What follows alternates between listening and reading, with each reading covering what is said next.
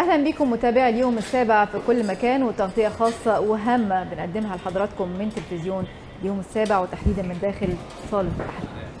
جرائم التنقيب عن الأثار بنتابع مؤخرا من خلال الأخبار المختلفة فقدان البعض لحياتهم نتيجة التنقيب عن الأثار.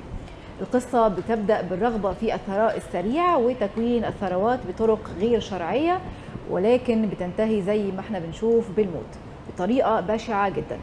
حوادث كتير تابعناها خلال الفترة الأخيرة من المحافظات المختلفة حول العثور على جثث لضحايا التنقيب عن الآثار بطرق غير مشروعة ولكن الغريب أن هذه الحوادث منتشرة بشكل أكبر في محافظات الصعيد. إيه سبب في تكرار الحوادث دي وازاي الجهات الأمنية بتتعامل معاها؟ تفاصيل كتير هيوضحها لنا زميلنا الأستاذ محمود عبد الراضي نائب رئيس قسم الحوادث باليوم السابع. في البداية برحب بيك يا أستاذ محمود. عايزين يعني في البداية نعرف تحكي لنا أكتر إيه اللي بيحصل في أسوان تحديدا والسنوات الأخيرة تكررت جرائم التنقيب عن الأثار بطرق غير مشروعة في أكتر من محافظة وخصوصا في الجنوب.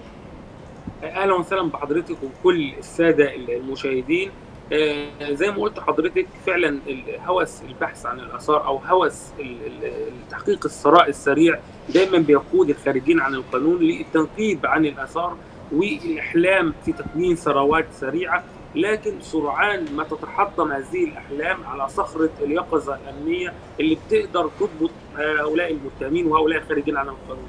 حضرتك بدات باسوان فعلا اسوان كانت من أكثر المحافظات اللي سجلت جرائم في مثل هذا النوع من الجرائم. هذكر حضرتك يمكن مثال أخير كانت حادثة كبيرة حصلت خلال الأيام الماضية.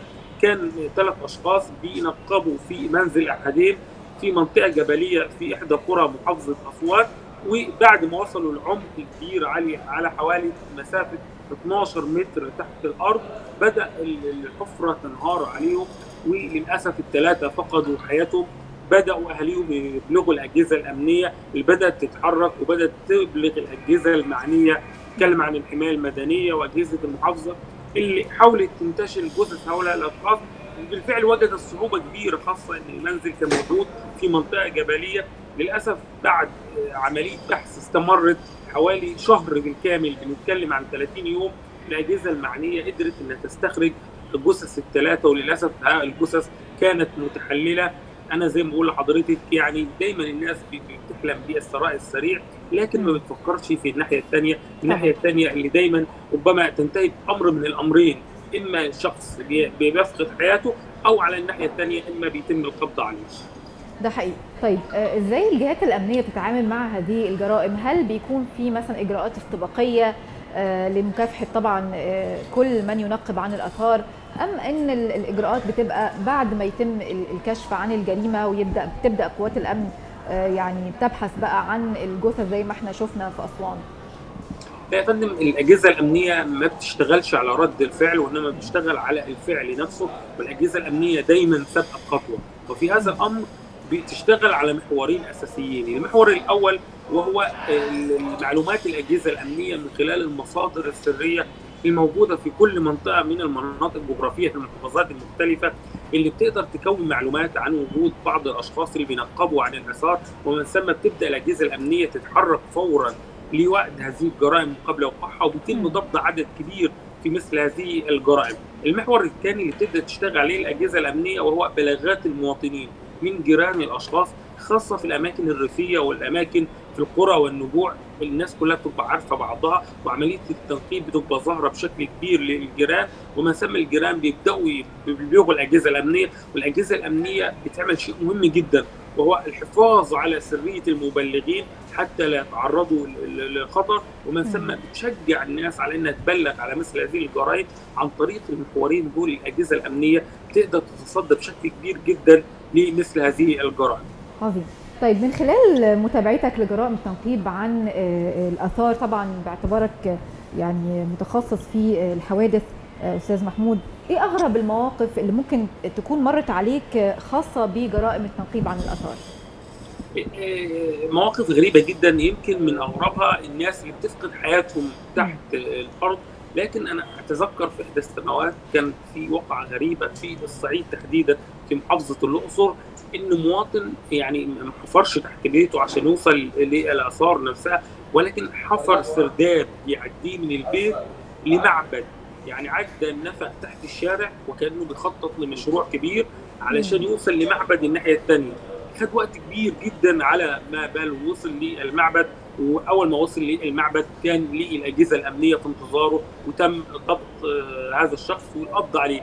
لأن للأسف وراء هؤلاء المتهمين دايما بيقف الدجالين والمشعوذين اللي بيقنعوا الناس بوجود آثار بوجود كنوز أثرية وإن هذه الضبطيات بتنقل حياتهم من الحياة العادية إلى حياة كلها ثراء سريع وحياة كلها غنى. فالناس تبدأ تشتغل على هذا الأساس.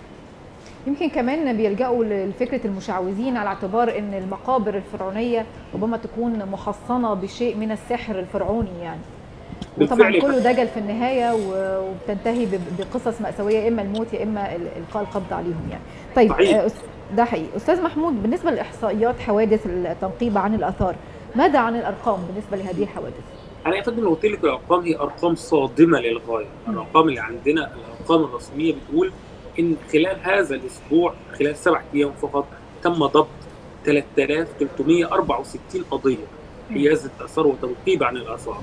هذا الرقم هو رقم مخيف للغاية. هذا الرقم يؤكد إن لو قسمنا هذا الرقم على سبع أيام اذا عندنا حوالي 480 قضية في اليوم الواحد. خلال 24 ساعة وهو رقم مخيف جدا.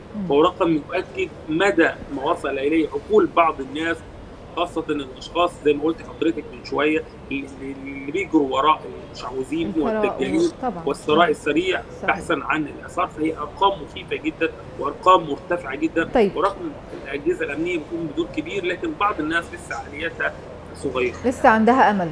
طيب بالنسبة للمحافظات الأكثر تنقيبا عن الآثار؟ دايما بتكون في المحافظات الأثرية يعني نتكلم على محافظة الأقصر أسوان إلى حد ما الفيوم هناك بعض التنقيب في محافظة الإسكندرية. دايما المشعوذين أو المنقبين على الآثار زي ما قلت حضرتك بيدوروا في الأماكن الجغرافية اللي فيها آثار. قريب من معبد قريب من مكان أثري. فدايما ما بينقبش اعتباطا ولكن بينقب قريب من الأماكن الأثرية بحثا عن كنوز كبيرة أو عن تابوت أو عن سرداب أثري. يكون في غزير بالقطع الأثرية اللي عشان عن طريقها يقدر يحصل على مبالغ طائلة أكبر. طيب أقصى عقوبة للمنقب عن الآثار بطريقة غير مشروعة بتكون إيه؟ والعقوبة بتبدأ من السجن خمس سنين وبتنتهي إلى سبع سنين على حسب التغطية وعلى حسب الكمية وعلى حسب نوع التنقيب كل قضية بتختلف من نوعها لكن العقوبة هنا بنتكلم على من خمس سنين إلى سبع سنين سجن بالإضافة إلى غرامة حوالي 300000 جنيه. طيب حضرتك بتقول إن المبلغين عن المنقبين عن الآثار بيتم الحفاظ على سرية المبلغين بدون ذكر أسمائهم، هل بيكون في كمان مكافآت للمواطنين اللي بيعثروا على آثار وبيسلموها للجهات المختصة؟ بالفعل يا فندم الأجهزة الأمنية أو الجهات المعنية بصفة عامة زي بنتكلم عن وزارة السياحه والآثار بتحاول تحفز المواطنين. أي حد بيعثر على الاثار بشكل صدفة بحته فبيسلم أو بيبلغ الجهات المعنية إنه أثناء مثلا إقامة منزل أو أثناء أي شيء عثر على آثار أو شك إن هذه المنطقة فيها آثار بالتأكيد الجهات المعنية بتخصص مكافآت مالية كبيرة ومكافآت مالية بتشجع الناس على إن هذه الكنوز الأثرية أو التاريخ والحضارة المصرية تذهب إلى مسارها الطبيعي وبناحيه ثانية بتوئد الجرائم التنقيب عن الآثار. ده شيء مفروغ منه.